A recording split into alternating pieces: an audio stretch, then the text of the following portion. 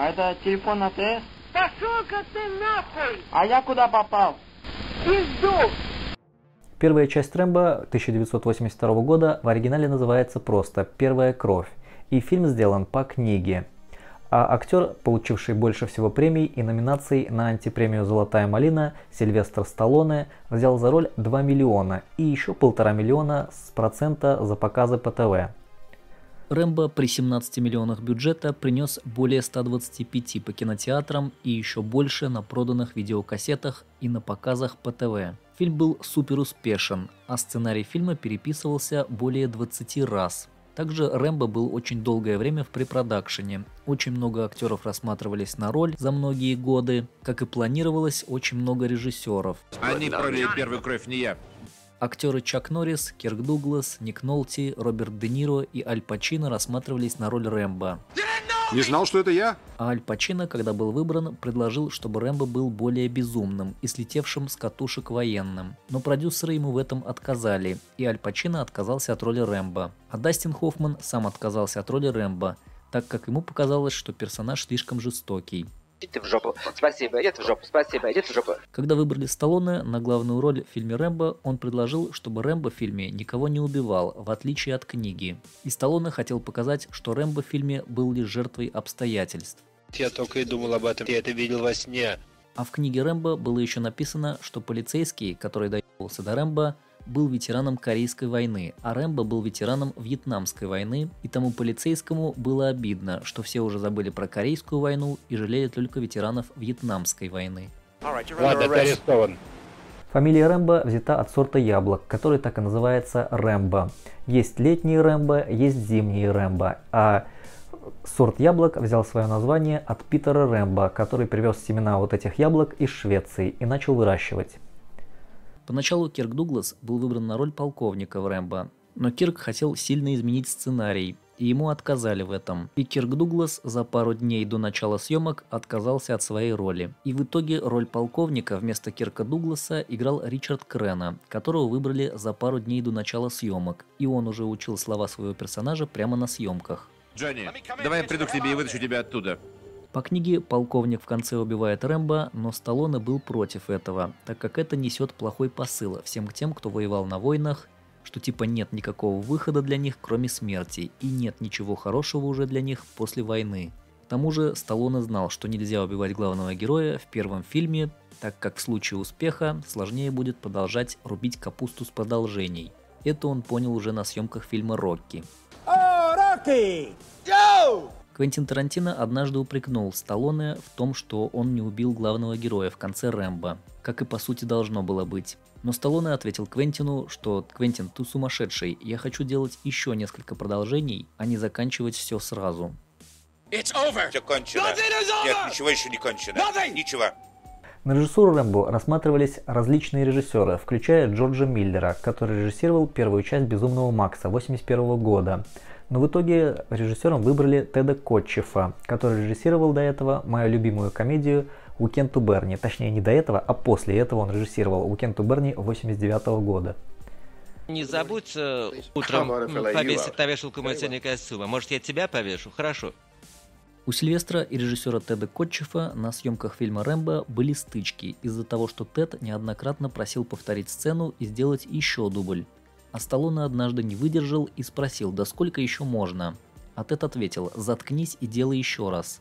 После этого Сильвестр пошел в сторону Теда Котчефа, хотел врезать ему, но охранники тут же скрутили Сильвестра и не дали случиться драки. Я не могу это забыть. На съемках Сильвестру Сталлоне было очень холодно бегать без рукавки, как он признался спустя годы, и делал он это только для того, чтобы круто выглядеть. Также на съемках Сталлоне сломал ребро во время съемки трюка падения на дерево. Как сказал Сталлоне, первоначальный монтаж Рэмбо был более трех часов, и когда он посмотрел его, то его вырвало, он стал подавленным таким, с плохим настроением, и он попросил у студии, он думал, что теперь Рэмбо загубит всю его карьеру. Он попросил у студии выкупить все материалы по фильму, чтобы сжечь их. Но студия ему отказала. Тогда Сталлоне попросил перемонтировать фильм, и это разрешили. В итоге фильм из более чем трехчасового сделали полуторачасовым почти, сократили большую половину его, Рэмбо там сделали молчаливым почти. Он только в начале, немножко в середине и в конце говорит. Хотя по фильму он там нормально говорил, у него было куча диалогов. Сталлоне сейчас занимается режиссерской версией Рокки 4, и может быть после Рокки 4 у него когда-нибудь дойдут руки до режиссерской версии Рэмбо, и мы увидим, что там такого ужасного, что не понравилось Сталлону, когда он впервые посмотрел более чем трехчасовой монтаж фильма. Тогда чего ты хочешь? Я хочу того же, что и они. Ну я хочу сделать это. Из удаленных и доступных сцен в Рэмбо, которые доступны на лицензионном Blu-ray, есть сцена, где Рэмбо танцует с вьетнамской, по-моему, проституткой и потом с ней занимается сексом. Непонятно, это было во время войны, после войны или когда там это случилось, пока непонятно. Как сказал Сталлоне, это именно он предложил, чтобы Рэмбо выживал в конце, но режиссер Тед Котчев был крайне против этого и даже хотел подать на Сталлоне тогда в суд – так как Сталлоне отказывался снимать сцену с самоубийством Рэмбо. В итоге самоубийство Рэмбо сняли, и это потом стало альтернативным финалом у Рэмбо. С этой первоначальной концовкой фильм показали тестовой аудитории, и тестовой аудитории чудовищно не понравилась концовка фильма. В итоге, как сказал Сталлоне, через полгода его вызвали для досъемок Рэмбо и концовку заменили на позитивную, где Рэмбо не кончает жизнь самоубийством и его спокойно выводят из здания живым. Несколько актеров, игравших в Рэмбо, уже умерли. Упомяну про них. Ричард Крена, игравший полковника в Рэмбо, умер в 2003 году в 76 лет от рака поджелудочной железы. Он сыграл еще во многих фильмах, включая три части Рэмбо и пародию на Рэмбо «Горячие головы 2» 93 года, про все части которых есть ролик на канале. Я не могу ходить. Мне связали шнурки на ботинках. Изверги. Брайан Деннехи, игравший гадкого полицейского в Рэмбо, умер в 81 год, 15 апреля 2020 от остановки сердца из-за сепсиса. В его фильмографии также огромное количество фильмов. Жить буду, Тони, ты должен их остановить. Джек Старлетт, игравший полицейского в Рэмбо, умер в 89 году, в 52 года от почечной недостаточности. Альф Хамфрис, игравший усатого полицейского, умер в 2018 от рака мозга. В сцене, когда Рэмбо сбегает от полицейских, Сильвестр как раз-таки локтем ударил в нос актера Альфа Хамфриза и сломал ему нос. В общем... Если в первом фильме Рэмбо почти никого не убивал и был, так сказать, святым безгрешным монахом, то во второй части уже стали убивать сотнями людей, и фильм стал из драмы, из экшен-драмы стал типичным боевичком-херовичком. При 25 миллионах бюджета второй Рэмбо принес 300 миллионов и номинировался даже на Оскар за эффекты, но получил антипремию «Золотая малина» как худший фильм. Сильвестр получил «Золотую малину» как худший актер, и сценарий стал худшим. Теперь фильм называется «Рэмбо. Первая кровь 2» и вышел фильм в 1985 году. Сильвестр 8 месяцев готовился к роли и набрал мышц. По сравнению с первой части он стал больше. Несколько недель его усиленно тренировал для набора массы и мышц бывший бодибилдер и хиропрактик Франко Коломбо, умерший в августе 2019 -го. Тренировка, по словам Франко, была каждый день в 4 утра. Задание выполнено. Немного более подробнее про Франко Коломбо я, кстати, рассказывал в ролике про умерших знаменитостей в 2019-2020. Есть ссылка в описании. Я хочу с тобой поговорить. Как сказал Адольф Лунгрен, он рассматривался на роль русского злодея во втором Рэмбо, но ему тогда отказали, зато взяли позже на роль в Рокки 4, где он сыграл Ивана Драга. И в Рэмбо 2, и в Рокки 4 главный злодей это русский. Из-за тебя я потерял все. Также продюсеры ко второму Рэмбо хотели подключить напарника, который бы периодически иногда подшучивал над Рэмбо и добавлял юмор в фильм. И на это дело выбрали Джона Траволта – но Сталлоне полностью отказался от идеи продюсеров, потому что не хотел делить внимание, деньги и экранное время с Джоном Траволтой. Весь юмор в итоге был из второго Рэмбо полностью убран и никакого напарника у него нету. Ты бы не мог? Конечно, о чем разговор? Угощайтесь. Сильви только согласился добавить к этой части фильма Рэмбо телочку, на полфильма буквально, чтобы ее в конце убили. Ее играла Джулия Никсон, и это был ее первый фильм в карьере. Это и есть конец. А на съемках второго Рэмбо было очень жарко, около 48 градусов жары. Также на съемках во время взрыва погиб человек, занимавшийся спецэффектами, Клифф Уэнгер. Ему посвятили фильм. И в «Рэмбо 2» можно увидеть надписи по-русски «Через жопу» и несколько слов по-русски. Также говорили парочка актеров. Возьми нож. Очень хорошо.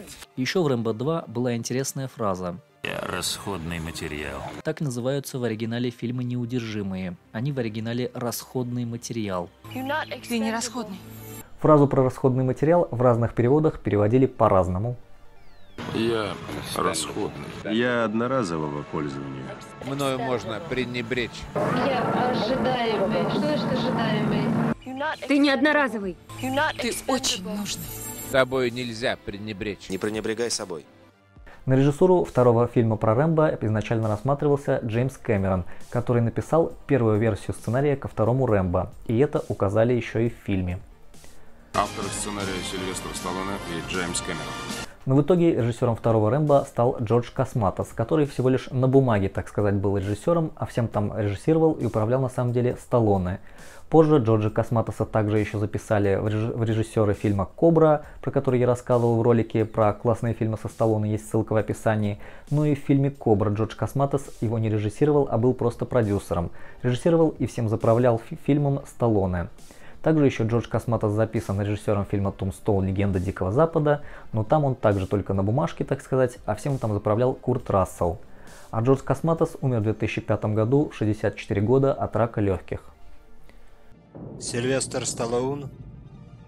В 1987 году и в 2013 вышли порно-пародии на Рэмбо. Можете найти их в интернете. А также с 1985 года начали выходить различные игры про Рэмбо. Выходили они и на Денди, и на аркадных автоматах, и на ПК.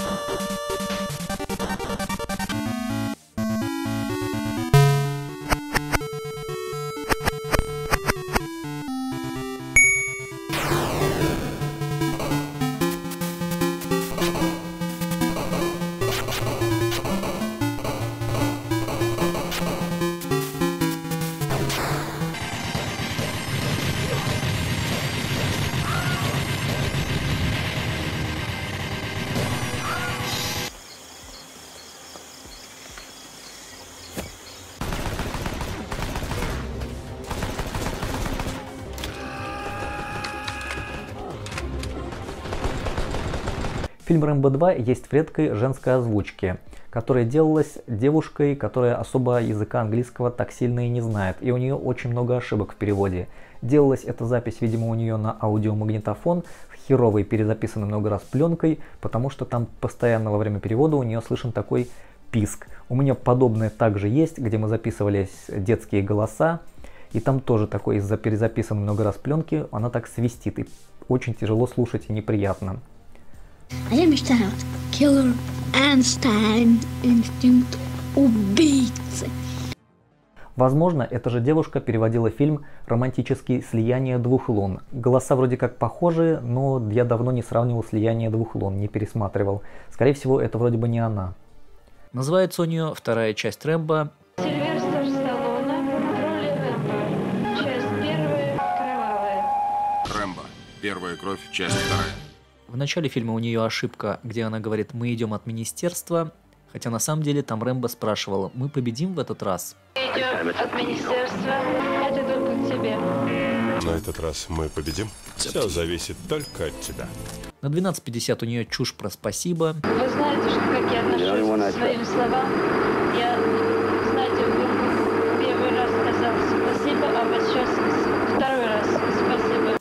Второго батальона в живых не осталось никого. И вы хотите, чтобы я после этого ему верил?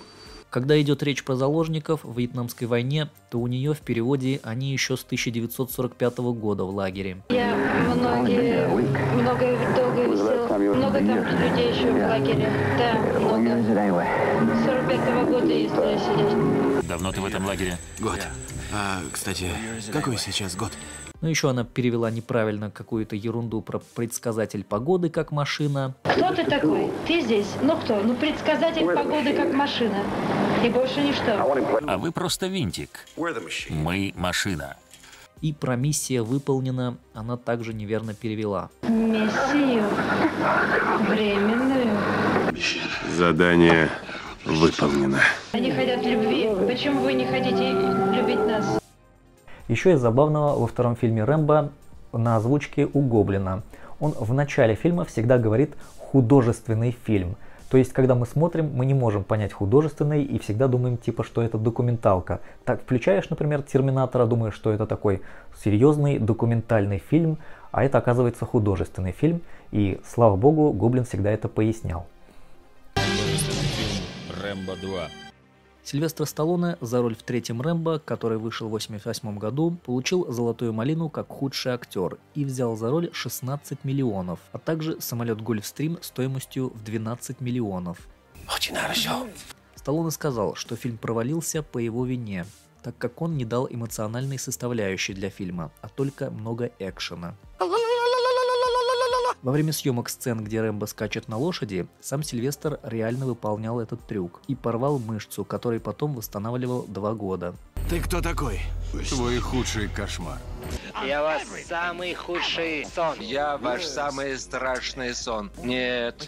Самый страшный сон у меня был, когда мне приснилось, что я проснулся без члена.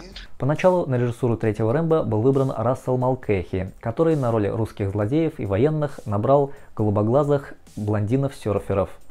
Когда Сталлоне приехал на съемки и увидел выбор Рассела Малкехи, что теперь русских военных играют голубоглазые пидорасы, он уволил Рассела Малкехи и этих э, людей.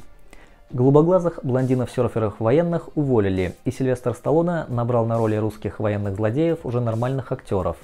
Также режиссером сделали Питера Макдональда, который номинировался на режиссуру третьего Рэмбо как худший режиссер на антипремию «Золотая малина». Также он еще режиссировал фильм «Деньги, деньги и еще деньги» 92 года с Марлоном и Деймоном Уайнсом. Пимпедрила несчастный был, уведи эту, блядь, от моей двери. Питер Макдональд теперь работает режиссером второй съемочной группы во многих фильмах, а также он работал оператором во многих фильмах. Рэмбо-1 заменит любую самую совершенную машину. Сценаристом третьего Рэмбо был Шелдон Летич, который за свой сценарий к третьему фильму номинировался на антипремию «Золотая малина» как худший сценарист. Также он еще работал и режиссером, и режиссировал фильм «Некуда бежать» с Ван Дамом, и еще многие фильмы он режиссировал с Ван Дамом, и до сих пор они дружат с ним.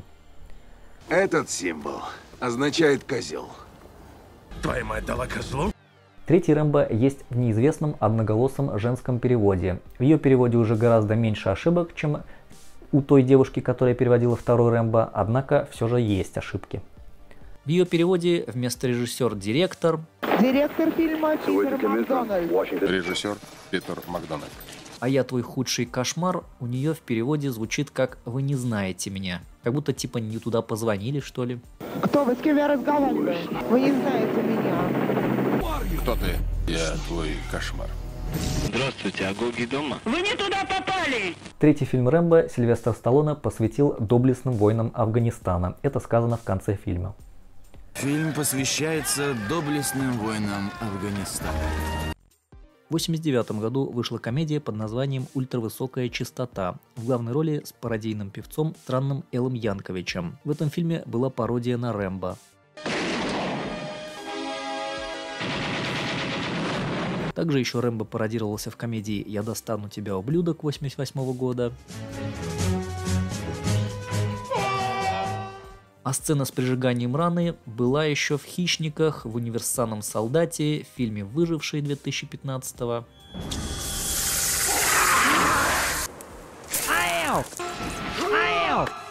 Фильм «Горячие головы 2» очень много пародирует из Рэмбо. А также Рэмбо пародировался в одной сцене офигенно недооцененной комедии «Заряженное оружие» 93 года. В 2007 году вышел фильм «Сын Рэмбо». Он не имеет отношения к серии фильмов Рэмбо, за исключением схожести в названии. Но в оригинале «Сын Рэмбо» в слове «Рэмбо» буква W на конце. И в итоге звучит Рэмбо точно так же, но пишется по-другому. Поэтому по суду не доебешься. Это детский вообще фильм про мальчиков-друзей. Бюджет был 4,5 миллиона фунтов стерлингов, а принес фильм 10 миллионов и был успешен. Из интересного в одной из главных ролей был Уилл Полтер. Это был его первый фильм. Я! За годы Сталлоне написал несколько вариантов сценария для четвертого фильма «Рэмбо». В одном из них у Рэмбо был брат, но это, видимо, все было не то для него или для студии.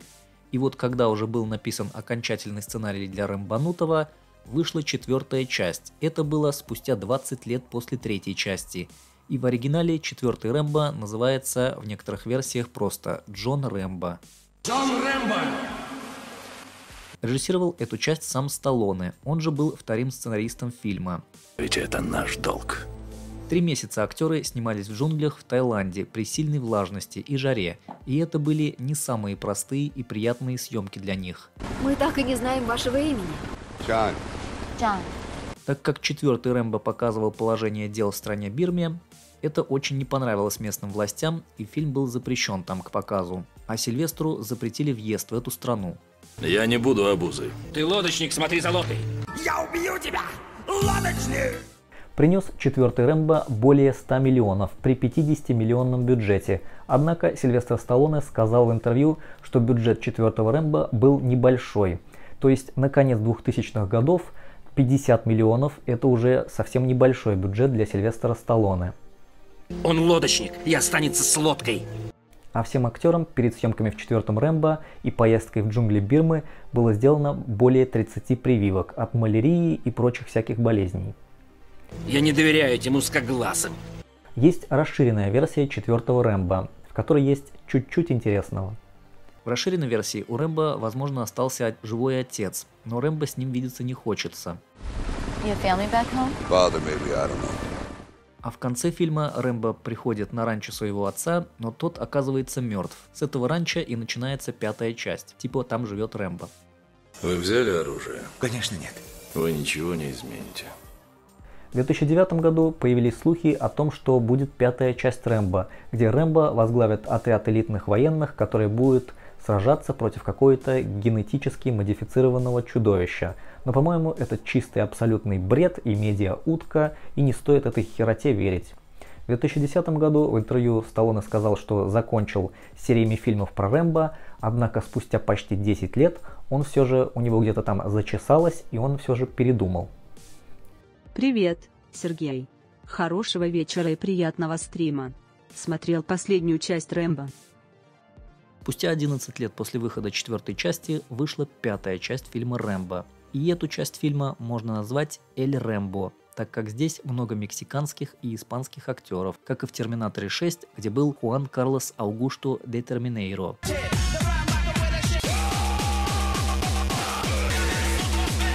А тут Эль Поко Локо Рэмбо, который мстит, и мстя его страшна. Режиссером пятого Рэмбо был Эдриан Грюнберг, который до этого работал помощником режиссеров в различных фильмах, а также он еще режиссировал фильм «Веселые каникулы» 2012 года с Мелом Гибсоном. А за режиссуру пятого Рэмбо он номинировался как худший режиссер на антипремию «Золотая малина». У Сталлоне молодые красивые дочери, и он о них заботится. И это выразилось в сценарии Рэмбо. Тут у Рэмбо племянница, которую похитили в секс-рабство, и Рэмбо ее спасает. А это мы уже раньше видели в фильме «Заложница» с Лемом Нисоном. И пятый Рэмбо абсолютно вторичен и неинтересен, в отличие от офигенного экшена «Заложница». И чтобы напугать своих сексуальных дочек, чтобы они всегда слушали своего папу Сталлоне, пятым Рэмбо убивают ту девочку, о которой заботился Рэмбо. Рыба! Производством пятого Рэмбо уже занималась студия Сильвестра Сталлоне, которая называется Balboa Production. Студия названа, как понятно, в честь Рокки Бальбо, персонажа из фильма «Рокки».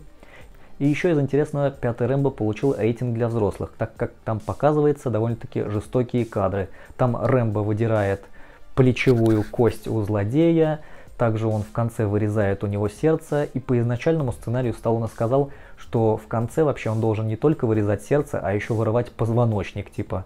Может напиздел, может быть правда, но в итоге такое жесть не стали даже снимать.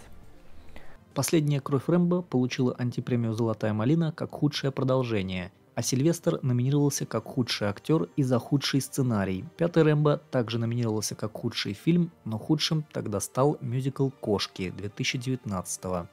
Говно сраное. Однако при 50 миллионах бюджета пятый Рэмбо принес около 90 миллионов. И хоть Сильвестр и сказал, что это последний фильм про Рэмбо, дополнительные сборы на видео и показах по ТВ могут сделать так, что будет еще и шестая часть. Вышел пятый Рэмбо в двух версиях, международная и для США. По России гонялась международная. она длиннее для СШАшной на 10 минут. Там просто в начале Рэмбо спасает двух людей, которые, там, по-моему, один или два человека в итоге все равно умирают. А он пошел ее искать. И мы благодарны, что помог нам. В октябре 2020 должен был выйти индийский ремейк Рэмбо.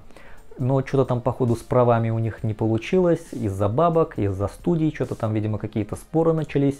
И кроме афиши, по-моему, дальше дело и не пошло. Вроде даже обещали трейлер выкатить, но, по-моему, даже и трейлера нету. Осталась только афиша этого фильма. Джон Рэмбо. Сталлоне также сказал, что всегда хотел снять приквел к Рэмбо, где объяснял бы изначальные мотивы этого персонажа, то есть показывался бы Рэмбо и его жизнь еще до Вьетнамской войны. Привет, Сергей. Хорошего вечера и приятного стрима. Смотрел последнюю часть Рэмбо. Да, здорово, Данил, смотрел, спасибо. Не, Рэмбо не смотрел. Мне не нравится Рэмбо, я же говорил. Первая это была драма интересная, ну тоже такая натянутая, чисто американская, у нас такое каждодневно, ежедневно со стариками, которые войну прошли, происходит. У них там молодой парень пришел, который там... Сколько там вьетнамская война шла, не знаю. Вот он вьетнамскую войну вроде как отслужил, и то мы не знаем, он с самого начала был, или там один месяц он там воевал, не помню, уже давно смотрел этот фильм. И вот он трагедию разыгрывает из-за того, что он после войны пришел, а тут ему ничего не, никто ему хуй не сосет. У нас как бы поживи, у нас старики вон калину, так сказать, продают в холод, сидят. И на 8 тысяч рублей живут в месяц. А тут он пришел, молодой парень, не может устроиться просто на работу и заткнуть свою жопу. Что-то там пиздит возникает, и из этого драму делают. Вот первый фильм про это, а последующие фильмы... Ой, давай, Рэмбо, ты теперь боевиком становишься, давай-ка из драмы мы тебя переориентируем в боевички для любителей войнушек, пострелушек. Ну и вот дальше вот войнушки, пострелушки, побегушки, вертолета по... против ножа, нож побеждает вертолет и так далее. Ну и что там, в третьей части благой, позитивный супер-американец Сильвестр в столовой, Рэмбо убивает русских, э, не помню на какой войне там. Ну вот, а четвертую часть я не смотрел, по-моему, ну и пятую тоже не смотрел. Мне не нравится. Неинтересно. Первая была драма такая, у которой была альтернативная концовка, где Рэмбо, по-моему, сам себя убивает. Вот ее и надо было закончить. Так, фильм про Рэмбо. Последующее это уже так, просто вот пострелушки-побегушки, ножик против вертолета. Если кому интересно узнать, в чем отличие пятого Mi Band от четвертого, то есть ссылка в описании. Я там сделал видео про все новинки пятого Mi Band. Если кто задумывается и кому интересно, гляньте в описании. А я хочу сказать огромное спасибо всем, кто поддерживает меня на этом канале. А это именно Иво Виес, Кирилл Кусанаги, Сергей Чернов, Сергей Миняйлов и Джанки. А также огромное спасибо мега-спонсорам Лори Лорину и Андрону Андрону а также четкому спонсору Джеку Ньюформу. И еще огромное спасибо всем, кто есть на сервисе Patreon и всем, кто в спонсорах на YouTube. Спасибо за постоянную поддержку. Фамилия Рэмбо взяла... Фамилия Рэмбо взяла, взята от сорта яблок, который так и называется. Фамилия Рэмбо взяла... Блять. Режиссер второго Рэмбо рассмотрел Джеймс Кэмерон, который написал второй, первый, первый версию сценария. Теперь играют какие-то, э, так сказать, э, Военных нашли нормальных, актеров сильных, красивых и военных. Блять, говно. Голубоглазых военных, голубоглазых блондинов. Голубоглазых светлых блондинов. Голубоглазых блондинов военных. Голубоглазых блондинов серферах военных уволили, блять. И Сталлоне набрал нормальных актеров на роли русских злодеев военных. Блять. Голубоглазых... Блять. Взяли потом Питера Макдональда, который еще режиссировал многие... Заебало. Он еще работал режиссером и очень много работал со, с, с, сукой этой ебаной. Сучарой поганой хуской.